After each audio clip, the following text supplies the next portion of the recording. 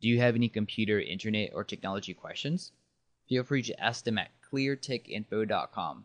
Remember, the only stupid question is a question you don't ask.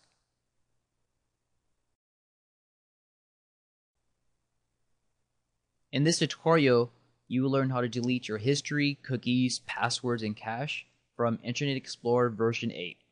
First, open up Internet Explorer version 8. Then see here where it says safety, click that.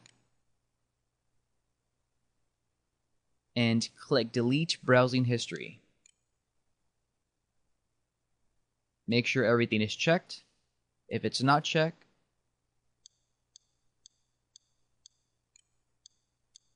all you have to do is just click it and it will be checked. Then click delete. Everything will be deleted within a few seconds.